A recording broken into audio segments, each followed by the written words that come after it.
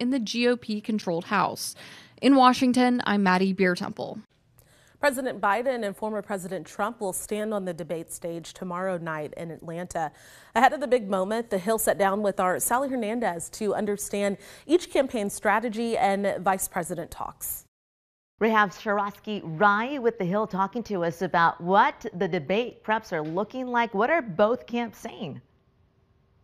Well, right now, it's really everyone is in intense preparation. We know President Biden is at Camp David with 16 of his closest advisors and aides, and he's prepping furiously for the debate. We've heard from President Trump on his platform Truth Social, as well as at his rallies over the weekend, where he's talking about, you know, how he's been prepping. And and really, we really don't know how he's prepping yet because he's not let us into, um, you know, his methodology for prepping for these debates. But we know that President Trump Trump has been meeting with uh, people at the Hill, former um, aides at the White House that worked under him. And, and he's really trying to get his policy and, and where he stands on certain issues straight. So right now, intense preparation, mm-hmm. and we've had a few sniping from both camps as well. So with two days to go, nothing but excitement here in DC. What do you, what do you think we should expect when it comes to these two? Are we going to, there's no live audience, right? So what are we going to expect? What are they going to say?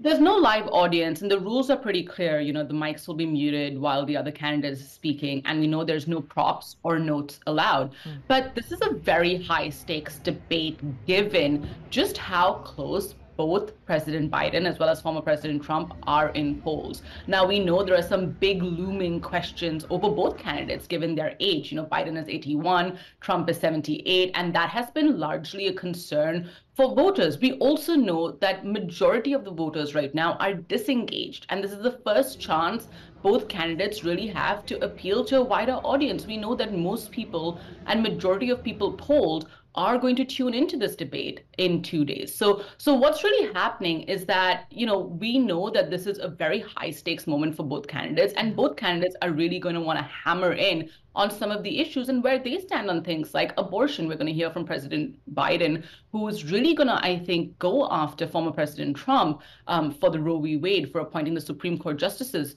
um, to that bench. Um, we also know that President Trump will go after President Biden for things like inflation, for things like the economy, on border security plans. Yeah. So both candidates are really going to have their key issues lined up that, and they're going to be on the attack. Yeah, there's not going to be a shortage of topics. That is for sure, like you just talked about. What about the vice P pick, though, for Trump? Any, any insight on that from the Hill?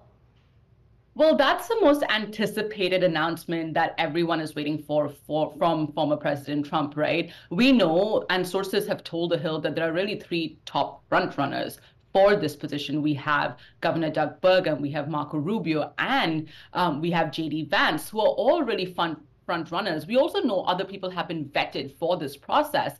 And, you know, former President Trump has been teasing the announcement a little bit. Mm-hmm. He knows people are waiting for this announcement, right? So so he is teasing it a little bit. He said uh, to reporters at a rally recently that he had made his decision and that that person is going to be in Atlanta. So you know we know he's going to make this announcement at the GOP convention in Milwaukee next month. Um, so really, um, everyone's just waiting for for former President Trump to announce his decision at this point. All right, we'll have to wait and see. Thank you so much for answering our questions and joining us today.